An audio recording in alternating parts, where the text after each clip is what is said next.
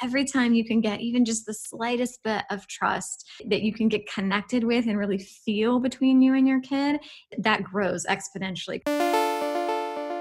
You're listening to the Mindful Mama podcast, episode number 252. Today, we're talking about simpler, more natural parenting with Rachel Rainbolt. Welcome to the Mindful Mama podcast, now with over a million downloads. Here it's about becoming a less irritable, more joyful parent. At Mindful Mama, we know that you cannot give what you do not have, and when you have calm and peace within, then you can give it to your children. I'm your host, Hunter Clarke-Fields, Mindful Mama Mentor. I help smart, thoughtful parents stay calm so they can have strong, connected relationships with their children.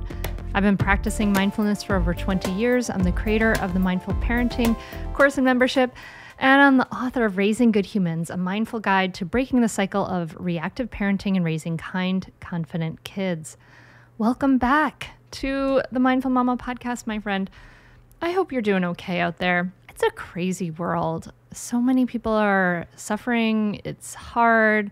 Even if you have a lot of comfort and you know it's hard it's hard mentally to to be away from friends and and winter and all of those things so i'm just want to say that i'm thinking about you dear listener and i hope that you are doing well and i hope that together we can focus on positive changes that are in our power to make, right? So, welcome, welcome. If you're brand new, of course, welcome to the podcast. I am so glad you're here in just a moment, I'm going to be sitting down with Rachel Rainbolt. And yes, that's her real name, as you'll hear me say. She is the Sage Family Coach. She's a writer and podcaster and advocate of gentle parenting, natural homeschooling, and simple living. And she has an MA in marriage and family therapy and decades of experience guiding families to peace and joy. So, we're going to be talking about simpler, more natural living. It's a conversation that sort of runs a gambit of various topics. And,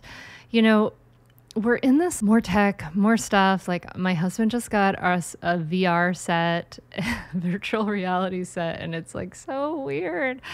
I don't know. For me, it's a little, uh, you know, and so we need kind of an antidote to that, I think, right? Like we need to be tapping into simplicity and ease and nature to give us a sense of rest and ease. So, how do we get there, right? How do we get there if we have this busy life? And that's what we talk about today. And, and Rachel helps us to kind of move from overwhelmed to calm, you know, from from fearful to trusting, which is really beautiful. We talk about how kids absorb their environment and reflect it back in their behavior. Environment really matters, and how when we have the intention to join with our child, we can get out of the house more easily. So, really listen for that. That'll be a, a helpful mindset shift for you, and how we need to pull together our intuition with science and research. So, You'll hear Rachel speaks my language, a believer in science and simplicity. I think you'll really enjoy this conversation.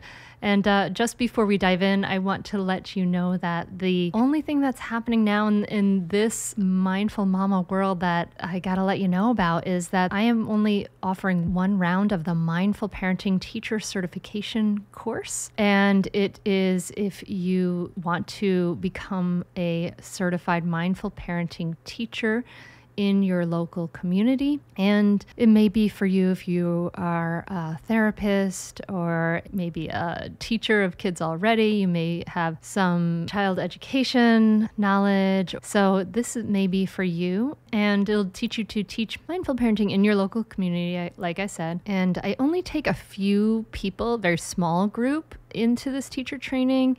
This will be for 2021, and we only accept about 50% of applicants. But if you think it be for you, go to mindfulparentingcourse.com slash teach, and you can learn all about it, the different things it involves. You can be anywhere in the world. We have teacher trainers right now who are everywhere from Australia to England to the US. We've had teacher trainers in Sweden. So go to mindfulparentingcourse.com slash teach, learn about it, and you'll see a button there where you can schedule a call and then we'll chat on the phone and see if it's the right fit for you. And then if it is, we'll send you a link to fill out that application and join. So that's mindfulparentingcourse.com slash teach. Okay, I think that's all I have to announce. We have some, I guess I'll also announce that we have some awesome sponsors. They are so great. Supporting the sponsors, great way to support the podcast. We love, love, love partnering with them, and they're really making it possible to get everything rolling and behind the scenes here. So, great way to support the podcast. And um, I think that's all I want to say. Let's dive in and join me with this conversation with Rachel Rainbolt. Rachel, thanks so much for coming on the Mindful Mama podcast. Thank you for having me. I'm very excited to be here. And I'm happy to talk to you too. And dear listener, I just have to tell you that Rainbolt is Rachel's real last name. it was the first thing I asked her off the air. I was like, really? Is it really? It's real? true. I met my husband and I said, you know, I'm a feminist and I'm going to keep my last name. and then he was like, oh, that's cool. My last name is Rainbolt. I was like, oh. no, I let all that go and took his last name because I just loved it so much. that's so funny. So what you're, um, you know, we're going to talk a, about simplifying and natural living and things like that but you're you were a, a marriage and family therapist right uh, for as a master's or you have a master's in that right so was that like intimidating for your husband to um, to marry a marriage and family therapist? Well, we got together our freshman year of college when we were teenagers. We were like 17. So he hopped on the train long before I became the expert and has been sort of encourage me encouraging me and nudging de- nudging me down the path all along. So he has been definitely my biggest supporter and I think since he since he got involved long before the bulk of that experience and education and expertise quote unquote was acquired i think that probably makes it easier. Yeah yeah yeah i guess that would happen. Actually i met my husband when we were in college too.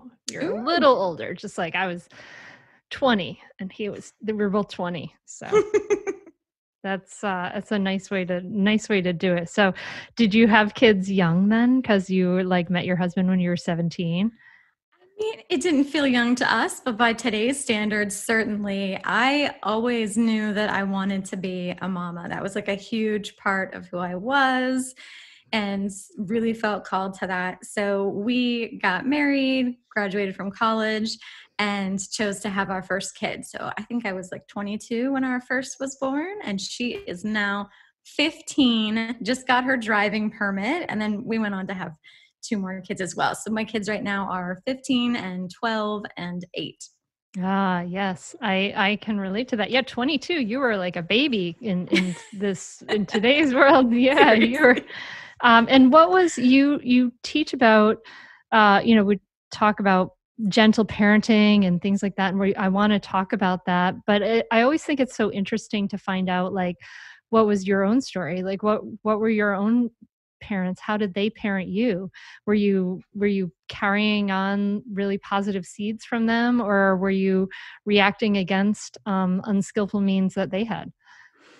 That's such a good question and um, no like my parents were not gentle parents. I had a pretty dysfunctional upbringing both of my parents have been married and divorced many many times. Um, so i never really had the experience growing up of having like a a family that was stable and um, trustworthy and secure.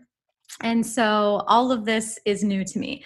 The same token i think you know from the therapeutic perspective we often talk about people existing in polarities. So they either want to duplicate exactly how they were raised or they want to do the opposite as sort of a reaction to how they were raised.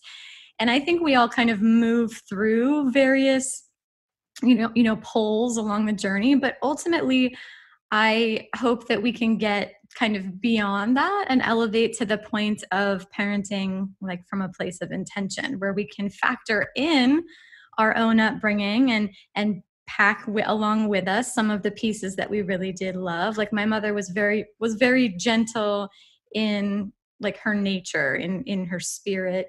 She was very affectionate.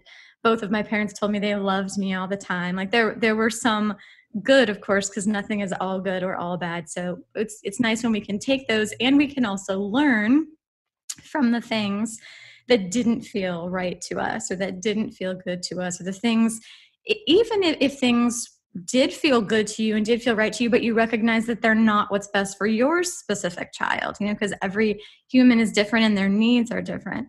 So i really try to evolve kind of beyond that replicating what they're doing or doing the opposite of what they're doing to just sort of really choosing with intention the kind of mother that I want to be and the kind of life that I want to live as a family and the things that my children need from me and that's a little bit different among each of them. Yeah yeah for sure. Um, i i can relate to that a lot. My parents aren't or are actually still together amazingly sometimes i think. I love you, mom.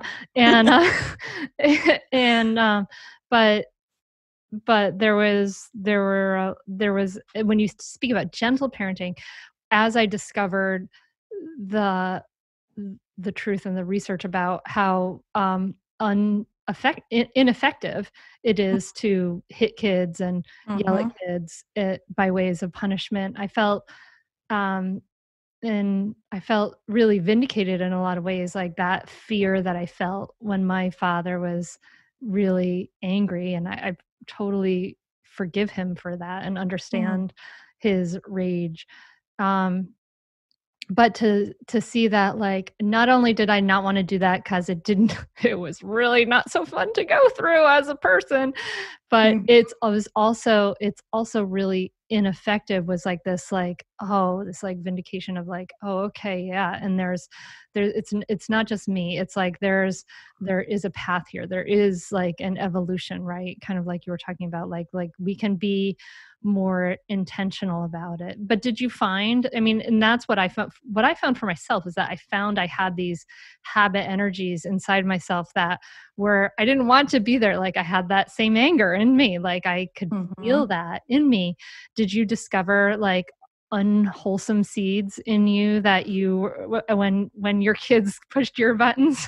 Oh absolutely. I think that it's it, it, the this sort of ideal baking of who you are as a parent is when we can pull together the ingredients of like our our intuition um like holding my baby feels good. You know like that feels good for me it feels good for my baby. We have these like intuitive behaviors and these this gravity pulling us to parent in this certain way right? That's like this evolutionary way of parenting. And then we also have all of this incredible research and science and i would you can even count experience in there that can validate or help to guide you along that path as well. Like you were talking about how physical punishment actually does the opposite of everything that you would hope to do um, in, in guiding your children. Like we can sort of combine those two things together to at our compass as we're moving forward as parents, I definitely had to overcome a lot of seeds that had been planted in my childhood. And I I really tried to take on that work by being brave and questioning everything.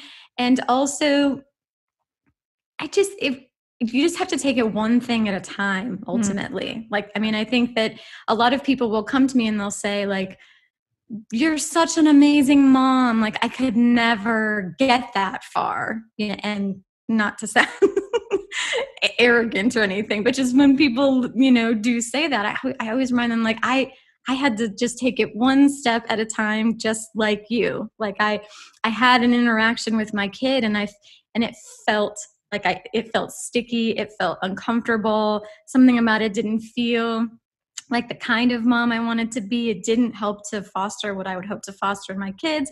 And so I would have to just pause in that moment and kind of take a step back and notice what was happening, like what's happening in me right now.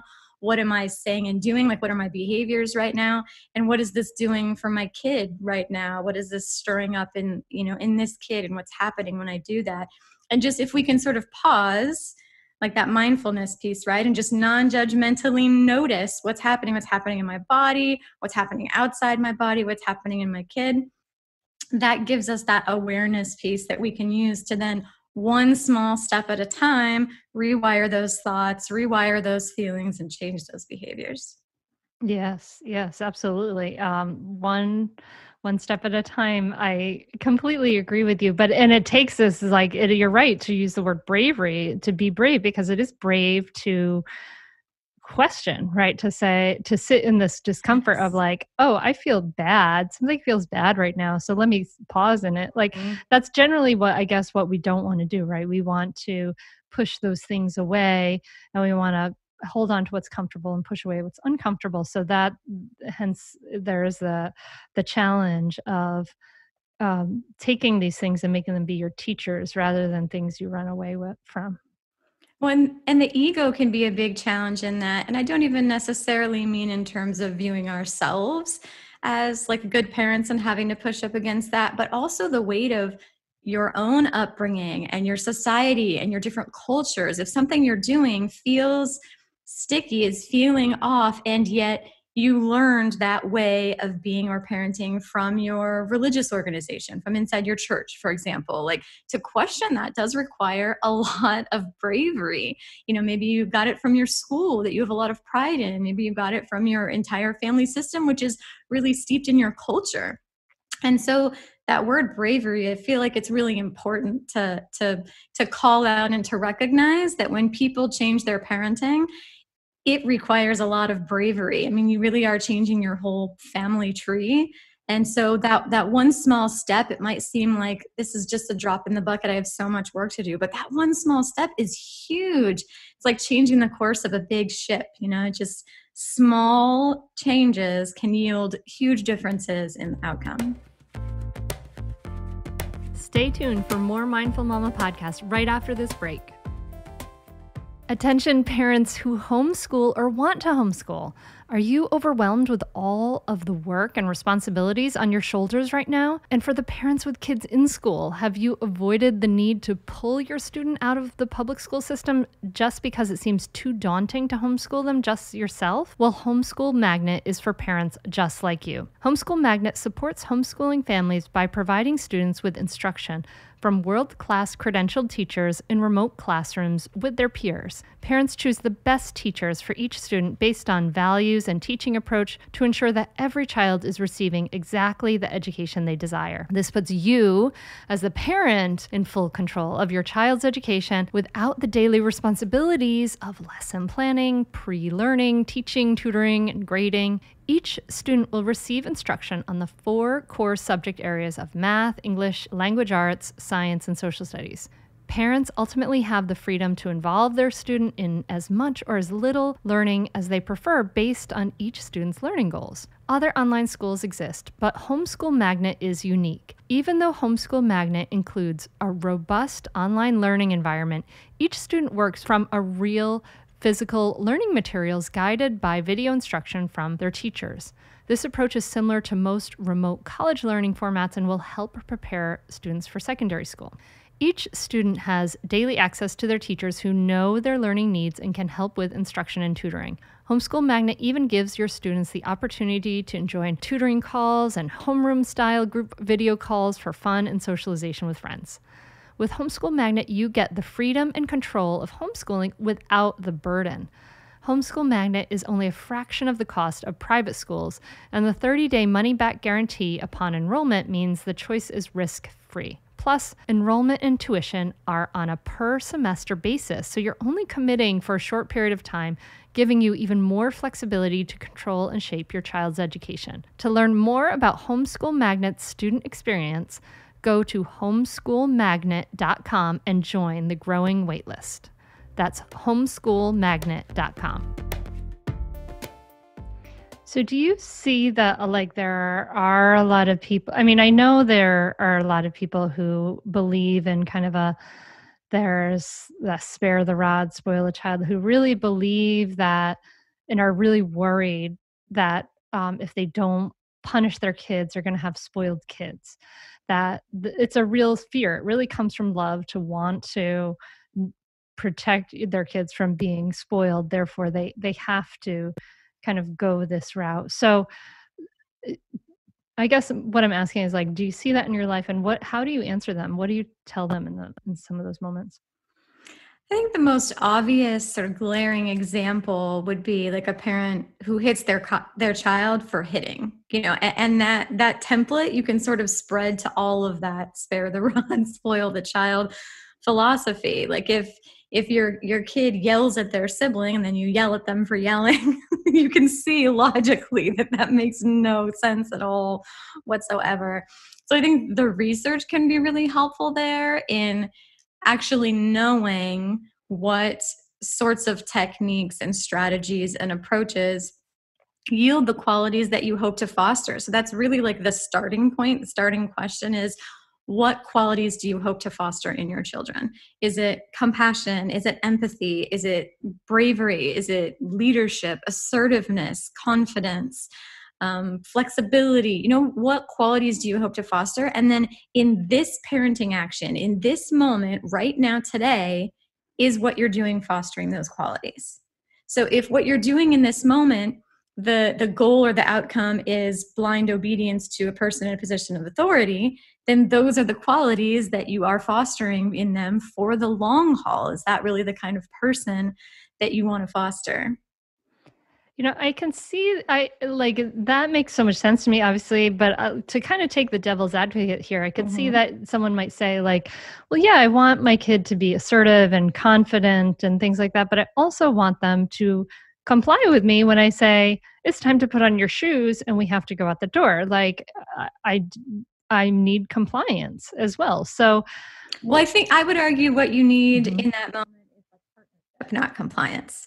So I don't want my kids to comply with people in positions of like blindless obedience. I, I don't want that. Mm-hmm. I don't want, you know, we think about like how could something like the holocaust have taken place? And i know that's a really big example but that literally starts in is in these interactions and the way we treat children.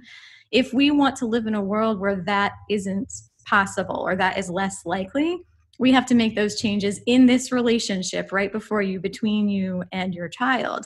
So if i am trying to get out the door and i want my kid to put on their shoes my goal would not be for obedience my goal would be to my intention would be to join with them and try and understand their perspective and figure out how i can meet their needs and how we can work together to accomplish shared goals for the day it's someone from the outside might not even see it as looking tremendously different, but it feels tremendously different to the people who are involved in that interaction. It would be the difference. You know, parenting is just a human relationship. It's just like mm-hmm. the relationship with you and your spouse. If I was trying to put my shoes on and my husband stepped in and said, If your shoes aren't on in five minutes, you're not eating dinner. Like, that, that would not feel good. and it would not elicit any sort of good feelings or you know good human qualities in each of us individually and in our relationship together whereas if he came and he sat down beside me and he's like looks like you're having a hard time. What's going on? What are you needing in this moment? How can i help? That that would feel tremendously different. And here's the kicker it would get us out the door faster yeah. than him telling me if I don't put my shoes on in the next five minutes, I'm not getting dinner. Him joining with me and connecting with me and, and working together in partnership to get everybody's needs met that is so much more effective. It takes less time, it takes less energy, and it helps you get out the door so much faster. Rachel, you are speaking my language. I mean, like, I feel like everything you're saying is like our words that came out of my mouth. But even the whole, like, the whole idea of like pr- connecting the the micro to the macro. I mean, look at mm-hmm. our society now. Like, the, it's this authoritarian strongman thing that's in mm-hmm. the in the family that we also then have in the you know in the larger world politically and and etc like it's, yeah. it's it's really fascinating and a real i think it really does start at home these these shifts and changes. Um, yes you want to change the world? How are you going to talk to your kids today? How'd you talk to your kids this morning? That that's how you change the world. I think a lot of people are feeling a tremendous amount of anxiety and part of that is a sense of powerlessness. There's so much hard stuff going on in the world right now, and they feel like there's not a whole lot they can do about it. There is a tremendous amount that you can do about it in your family, in your home, right now, in your relationships with the next generation. Amen. Amen. yes. Seriously. Uh, so I, I, love it. So, so you also teach uh, natural homeschooling. Mm-hmm. Um, so, what is that, and how is it different from traditional homeschooling? Yeah, I think when most people hear the word homeschooling, I mean, they're literally just projecting on the meaning of the word school at home. Um, and that's not our model at all. So we, I like the term natural homeschooling. Some people might say unschooling. Um, I like natural learning too. Basically, the homeschooling gives us the legal designation that we are taking ownership of our family's learning. The natural in addition to like yes lots of connection with the natural world around us it more speaks to the natural way that human brains have been wired and have evolved to learn over millions of years. So it's like an honoring of who your child is like their given spirit their natural way of being and working with that um, to support everybody's learning it's more of a lifestyle for the whole family than it is a a something that you do um, to a child.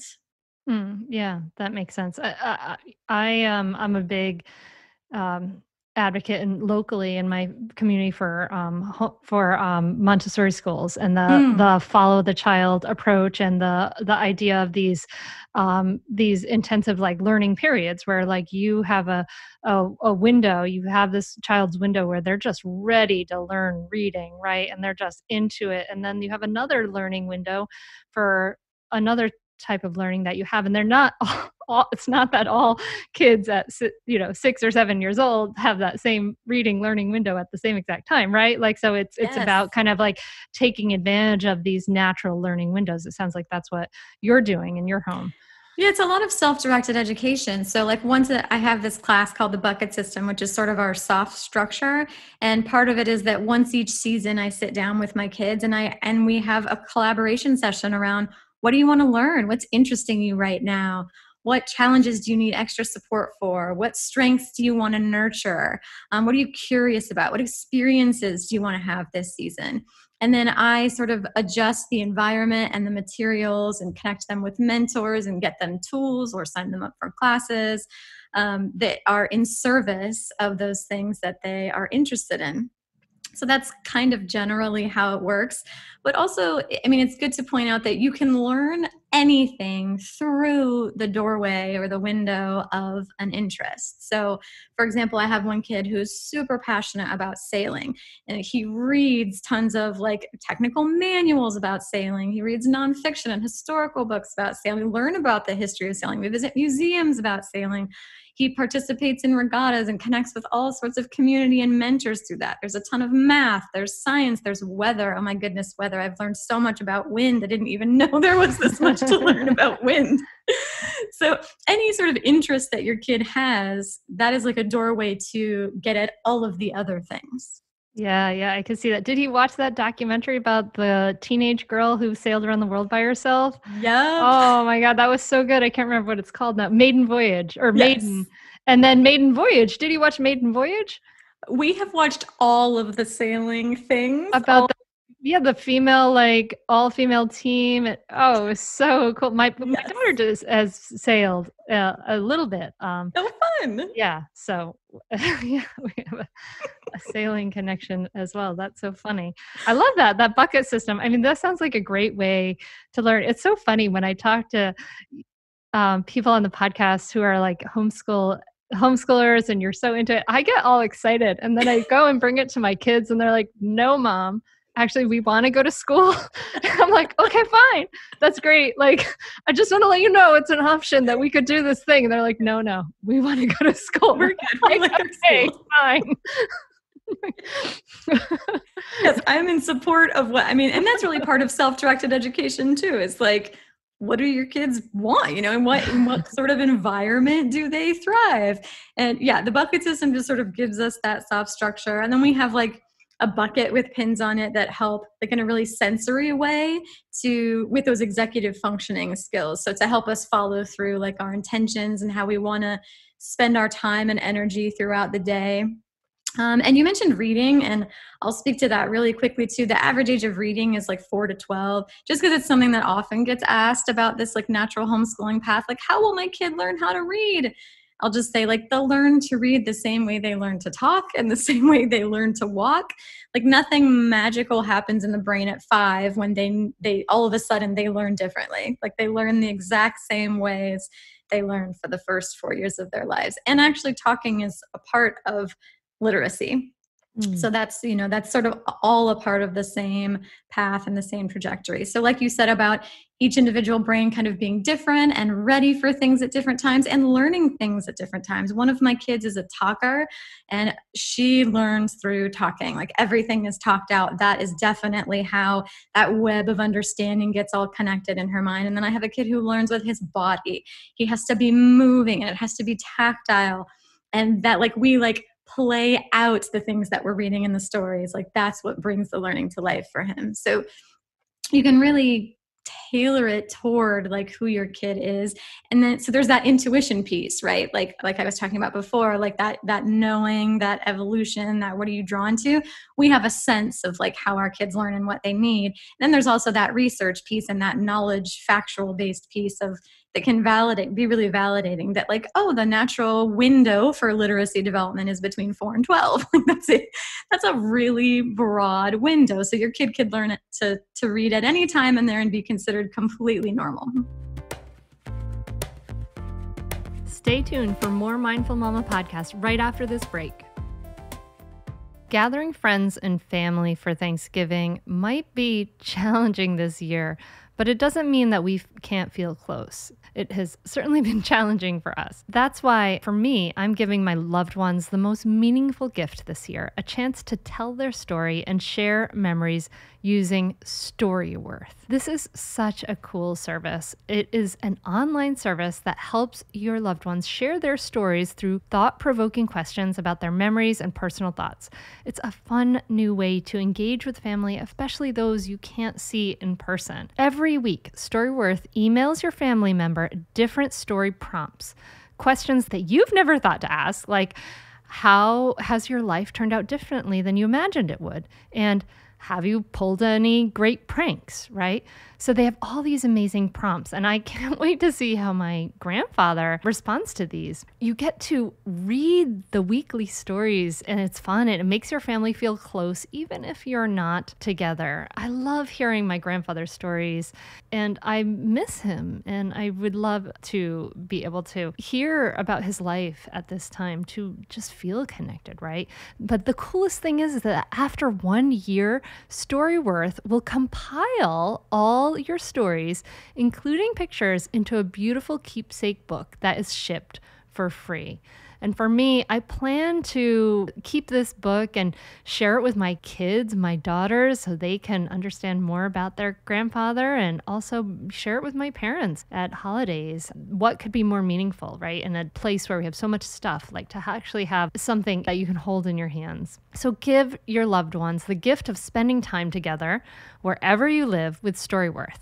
You can get started right away with no shipping required by going to storyworth.com slash hunter. You'll get $10 off your first purchase. That's storyworth.com slash hunter for $10 off. But I imagine it would be like incredibly nerve wracking. Like you might know that intellectually, but if you are the parent of a child who's like 11 and hasn't learned to read yet, you're probably freaking out inside nonetheless. I think it depends. I think that if you are if you're not really deep in a community of like natural homeschooling families, then it might feel that way. Like if all of your friends, their kids are in school, it's a really big deal that they force reading at a specific age because in the classroom they have to be able to read to do everything else because it's a whole lot of passing out worksheets and you have to be able to read the instructions. Like the schools rely really heavily on that. But if that's not your community and that's not the culture that you exist in um, then it's really not that big of a deal. If you're surrounded by people who are reading at different ages and different levels and you get to kind of tailor and customize your lifestyle to your kids strengths and to learning everything and working on skills through those strengths um, then it's really not that big of a deal. And I'll say we have, like, I have three people in my family who have dyslexia. We have ADHD in my family. So this is this is a lot of people might say, well, yeah, but that's not true of like neurodiversity. And I'd say, like, absolutely not. Like, this is even better for neurodiversity. My kids have no conception of like what what it is to be behind like they don't even know that that really exists like everybody has their own time and we bring in any extra resources or help that any of them need that they're free to decline and they utilize all sorts of tools and they know really well how they learn. I think ultimately that's the goal for me is not to teach them what to learn but that i want them to know how to learn. So anytime they have a need to understand something or they notice some sort of gap in their understanding i want them to be completely brave and competent and confident that they can learn all of those things that they need. I love that. I mean you have to learn how to learn and and that's like they you know they they do that very well also like in in the montessori system but so well now you strike me as like this like i'm getting this picture of like sailing and like hiking and this very open-minded like wonderful crunchy lifestyle. What happens like how are your kids able to um what do, how do you approach things like video games and online learning and all of those things like are your kids playing among us and minecraft and watching youtubers like what yes.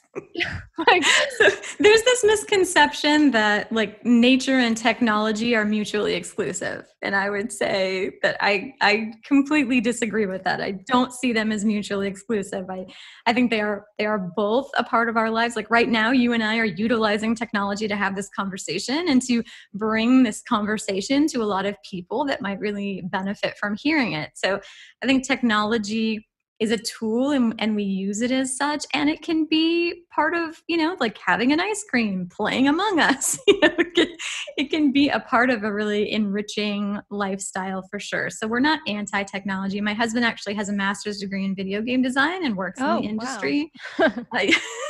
so it also provides for directly provides for our lifestyle and the kids know that. So if we were to try to villainize it it would obviously be completely insincere because it's how my husband makes his living. So technology and video games are a part of it. One thing that I try to help families with if they're feeling concern is to get curious about what your child is getting from the technology use that they're really into right now. Um, a lot of kids right now, what they're getting is socialization because of the pandemic. They're not getting to connect with other kids in the real world. So they're getting that through the video games, particularly things like Discord or Among Us or Fortnite. You know, it's like a social endeavor that they're engaging in on that platform. So if you are hoping to dial that down before you start pulling back, think about what you can add in to help meet those needs in other ways. Like maybe you can dedicate some time and effort and energy and creativity to fleshing out your bubble mm. you know like your pod of homeschooling families that you can get together with um, if your kid is getting from it that like they struggle with social skills in the real world so friendships can be really tricky. And in the online world they don't experience experience that same friction and challenge then maybe there's some things you can add in to help them with those social skills.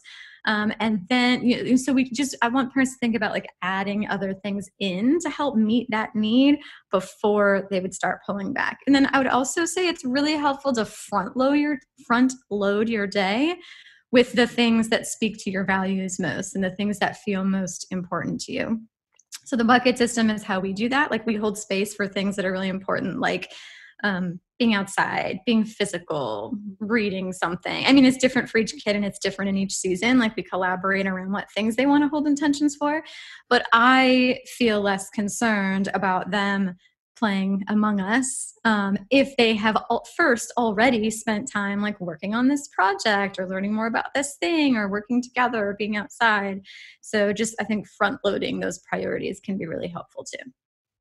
Yeah uh, that's how i feel. And and sometimes that works out really well in in a way that i feel like we're sharing our values and sometimes it feels a little transactional like go outside for two hours and then you can have your screen time kind of mm-hmm. thing and that's when it doesn't mm. feel as mm-hmm. good of course yeah um i think the collaboration piece is really important in our family so where we sit down together and it, it really is a true collaboration. It's like a partnership. They have a legitimate say in what they want to dedicate their time and energy to. And my point is that i just want you to be intentional about it. So this is our chance to get really intentional about it. And then sure the daily bucket will like help to hold you accountable to that. But when kids get they legitimately get a seat at the table and they get to have a say in what they're learning, what they're practicing, what skills they want to develop, at what things they want to let go. You know, each season we're, we're, oh that I'm over that I learned I got everything I wanted out of that. Like I'm ready to let go of that. And that includes like the hard, more hardcore subjects too. Like my kids will, one of my kids right now is just all in with reading. He really wants to like accelerate his reading progress. There are some pretty advanced books that he wants to be able to read on his own so he could like just read them all day if he wants. And so like a, a, lot of the other things are not on the bucket right now so he can fully focus on that. Um, so i think that coll- collaboration piece can help to remove that transactional feeling. Yeah yeah absolutely. Um, there has to be more of that that conversation. Uh, you've ex- mentioned the bucket many times. I am not getting a like clear picture about what this is and how it works. I'm a little confused okay, so once each season we get together and have that collaboration session where we talk about what they want to learn and what things they want to hold space for on a, on a daily basis then each person has a little bucket with clothespins on it. And those clothespins are the things that that we need to hold space for that they want to hold space for. Um, so like for example the dog has to what my eight year old has dog food and water on his the dog has to get food and water you know? So that's something that somebody has, has to take care of each day. And in this season that's one of the things that he wanted to do.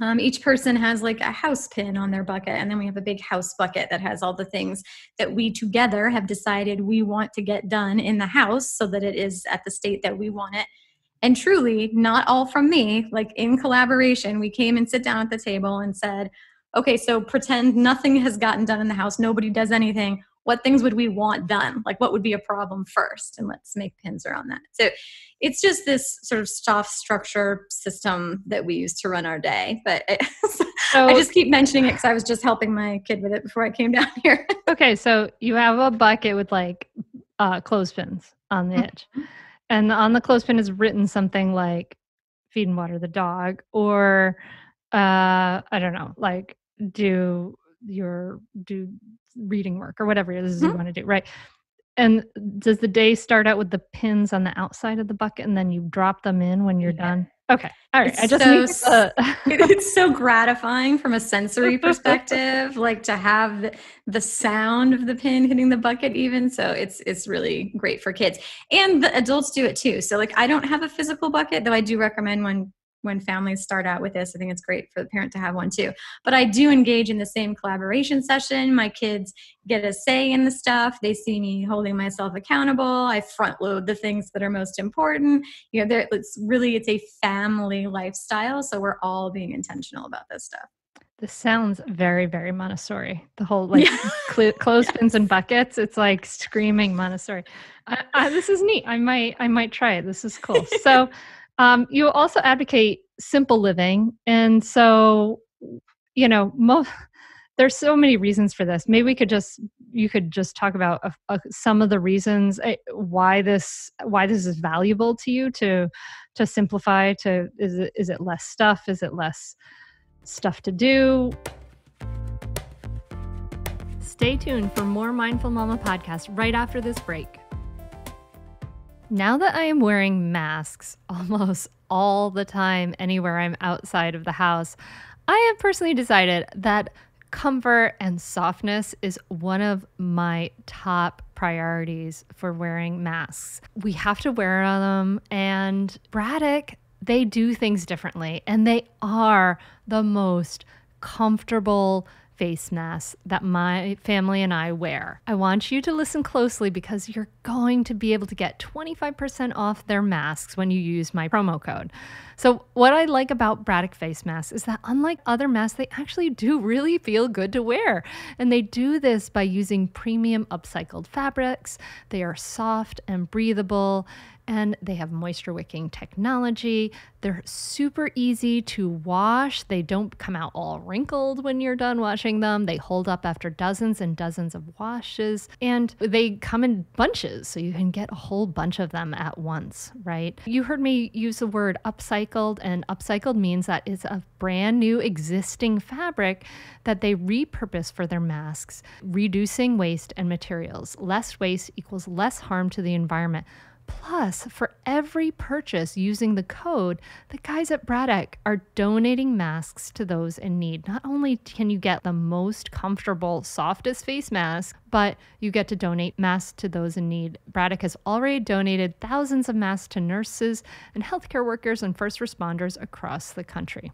When you go check out your website, braddockusa.com, you'll see that they already have great prices.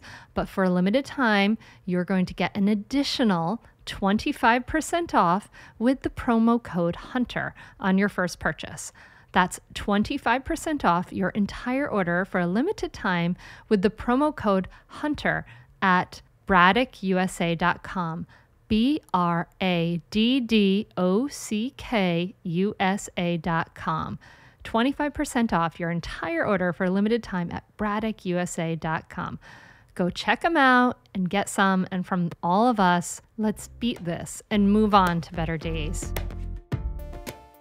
Yes, all, all the of, things. All yeah. the I, there are basically like three spokes to my work. There's like the gentle parenting, there's the natural homeschooling, and the simple living. And people often wonder, like, like why is that so important like where does that come from it plays into everything it's simplifying the environment kids really absorb their environment and reflect it back as behavior um, so if your kid is dumping toys or even just the level of stress, levels of anxiety, levels of depression, overwhelm, the environment plays a huge, massive role in that. So the environment is a big one. I, I use the environment that's probably the most active part of my homeschooling really are the things that i plant in the environment for the kids. So i release my attachment to whether or not they choose to engage in something i set up for them or how they choose to engage in it but that active part is me setting these things up. Um, and it's not just stuff though like you said it's it's it's time it's money. Like i actually talk quite a lot about money because like I live in the real world and realistically to live this kind of lifestyle that I advocate for money it's obviously a part of it. Yeah. Um, so it's you know it's time it's mental clutter it's relationships obligations always come up as a big part of it the pandemic has helped a lot with that but typically we waste a tremendous amount of time and energy doing things that we feel obligated or pressured to do when kids feel rushed and stressed and your life is all transitions it's a really miserable life particularly i find for like full-time moms. I mean if your existence is really re- relegated to transitions like getting your kids places to and from getting them ready for this getting them ready for that getting out the door that sucks. Like that's not an enjoyable life. So like we can clear all of that life clutter out of the way and then just say, what's your dream life? Like perfect day. Like say you fell asleep, a miracle occurred, you didn't know it occurred, you woke up the next morning. What was the first thing you would see or hear or feel that would let you know that that miracle occurred? And we can like walk through that whole day together and then you can bring that that that dream life, you can make that your life. Mm, yeah, yeah, step by step. And it's mm-hmm. about like when you have a, a choice point, mm-hmm. the cho- when you have a vision of where you're going, then you you know how to make a choice when you have this yep. different points of inflection. That's cool. So, um, so what are some things that uh, what are you know for somebody who wants to s- simplify their home you know how do you decide how, what are some, some what's some advice you have for things that stay or things that go? Yeah, I said it's it's helpful to start with the simpler spaces first. So for example, like the bathroom, like your bathroom is a really great it's my favorite place to start when working with families with moms especially.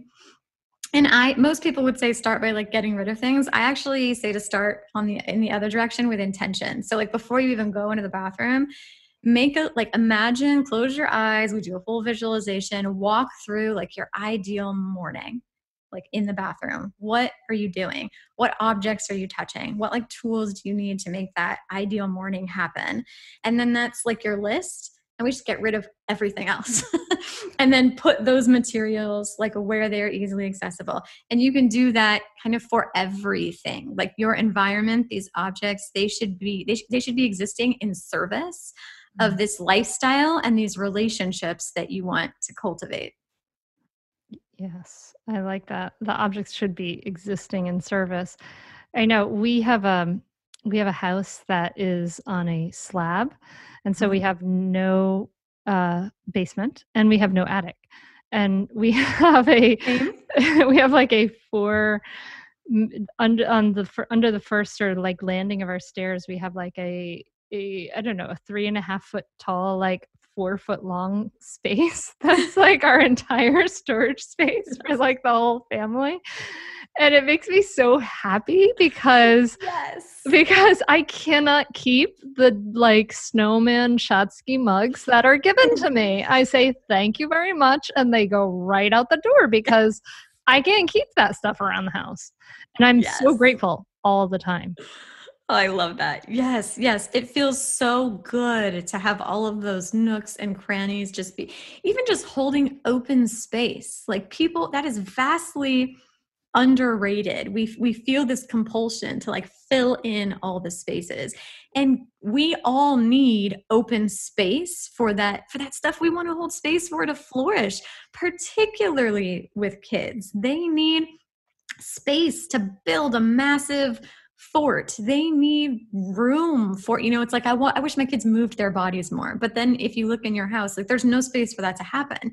You know you tell them no they're not allowed to throw the couch cushions on the floor. No they're not allowed to pull the dining chairs into the living you know then, then they can't do that. So you've got to like use the environment and simplification can be a huge huge huge part of that. And the research like we talked about there's that intuition piece also that research piece. Research shows that it it makes a massive difference in the emotional psychological educational physical well-being of all humans but especially children who are even a little bit more sensitive to the environment. That includes time schedule calendar bank account house when things are simpler.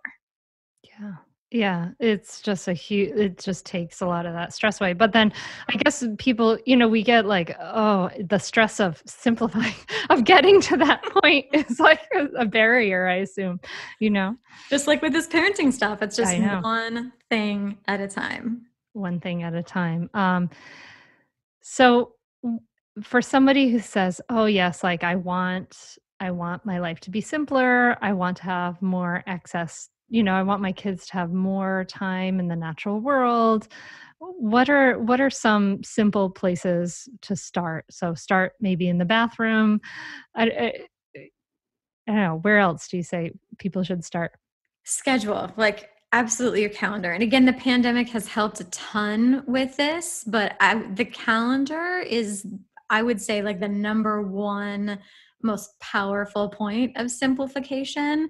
Um, a lot of people, like, I'll ask them what their values are, and they'll tell me all these beautiful, wonderful things. And I'll say, Great, show me your monthly calendar. And like, that's not at all reflected in their calendar. Their calendar is full of busyness and you know their kids signed up for seven different things and it's go go go and there's so and so's birthday party and, and and like and then their values are like quiet time together as a family in nature. And it's like that's like once in in the entire month's calendar. So your calendar should be a reflection of your values like full stop. Like that is make that your calendar hold the space for the things that are most important to you. So if time together in nature is most important to you that needs to be a recurring event in your calendar and that gets put in the calendar first before anything else. So if someone says, Hey, here's the invitation to so and so's birthday party. Oh, that's Family Nature Day. Sorry, we're busy that day. We can't attend.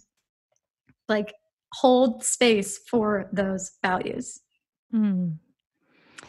I, I like that. I appreciate that. I, I don't know. I would, uh, if I had a good friend who had a birthday, I might say, like, let's go for a walk in the park and go to the birthday you know like there's ways to figure that out but i i like that like we should have these things in the calendar we you know we go on a plenty of like hikes and things in my family, but we don't have them in the calendar. Although my older daughter is in Scouts.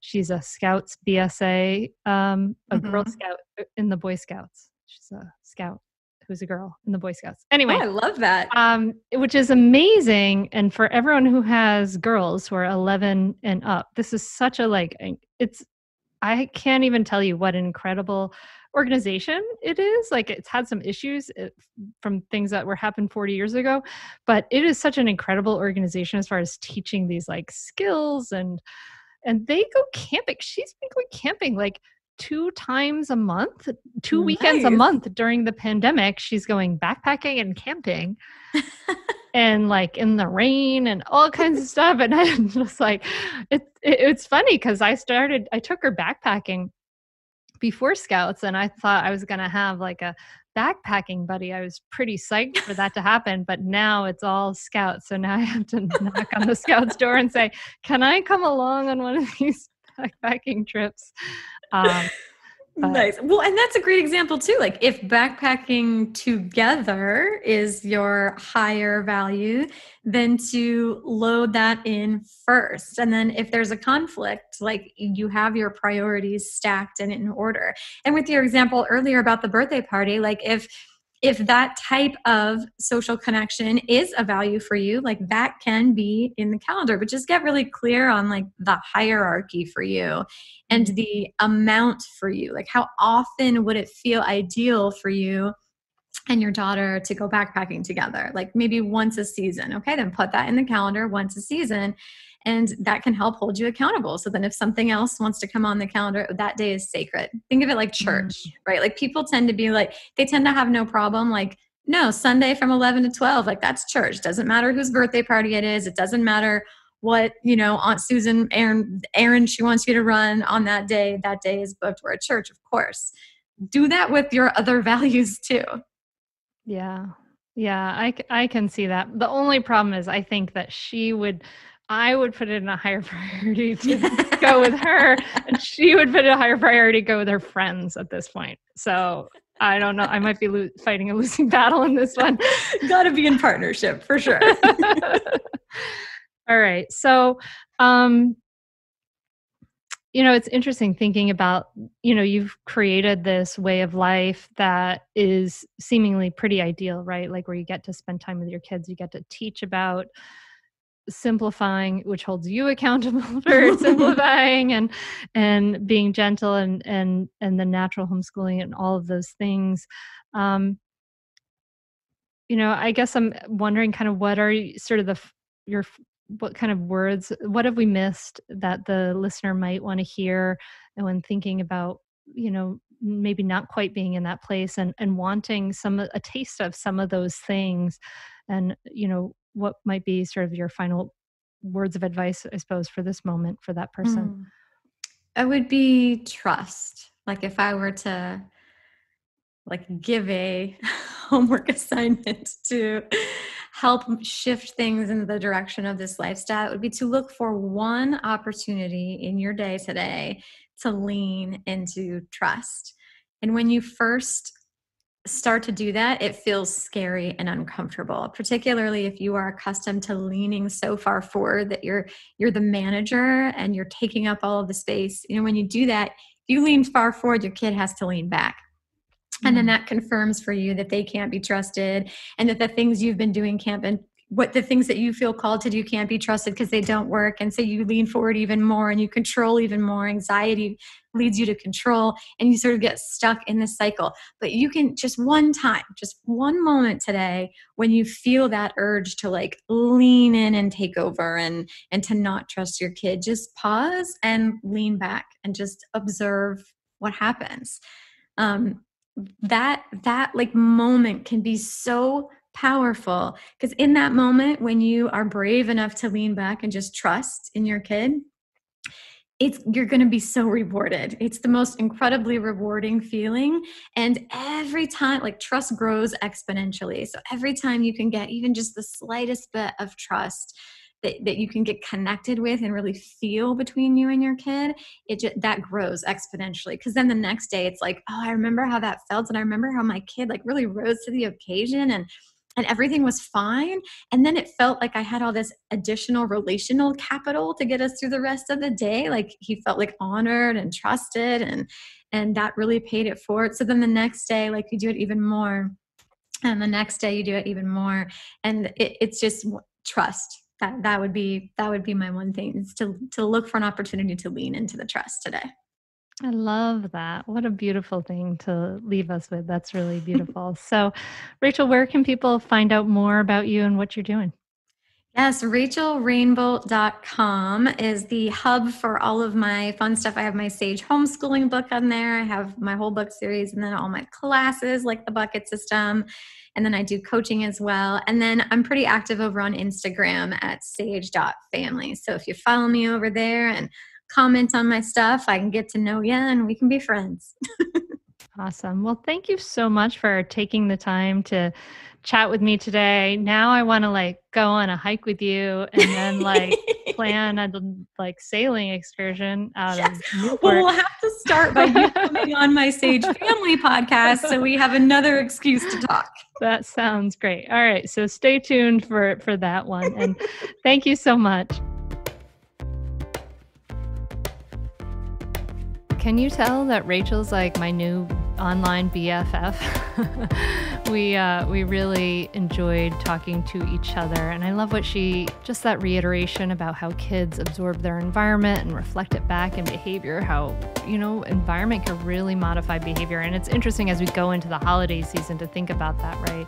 As we get more and more stuff, so something to think about, and that that intention to join with our child, right? That's totally what we need this intention to join with our t- child that makes a huge difference. So I hope you enjoyed this conversation. We'll be back next week, of course, with another amazing conversation. I would love to see where you're listening, what your takeaways are. Take a screenshot of the device you're listening on and tag me. On Instagram, I'm at Mindful Mama Mentor. And you can also see the behind the scenes of my life there. I'd love to hear what your takeaways are from this episode. It, it's so, so, so valuable to me when it's uh, a two way conversation. And so if you haven't ever done that, this episode, this is the time you're going to do it.